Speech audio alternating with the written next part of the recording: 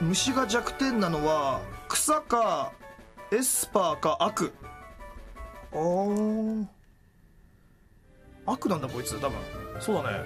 強いポケモン弱いポケモンそんなの人のかって本当に強いトレなら好きなポケモンで勝てるように頑張るべき。いいわよあなた。大事なこと分かってるわね。先に進みなさい。チャンピオンがあなたを待ってるわ。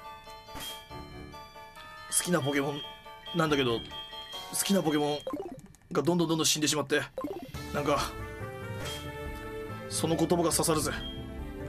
その言葉が刺さるぜ。ましてよ俺が自爆のボタンを押しちゃったし。それこのその言葉はさすがに響いたわ。さすがに。さすがに響いた。行こ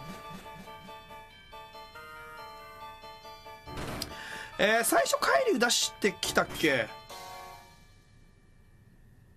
確かそうだと思うんだよ。あでも違うか。変わってんだ。